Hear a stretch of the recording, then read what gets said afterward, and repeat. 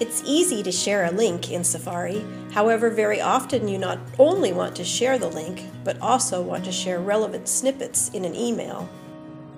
Diigo Annotator presents new ways to highlight and share important snippets with your friends or colleagues in Safari.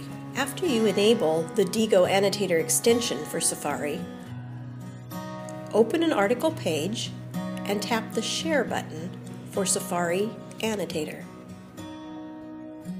A reader will present a clean view for reading. When you find interesting stuff, just select and highlight those sections.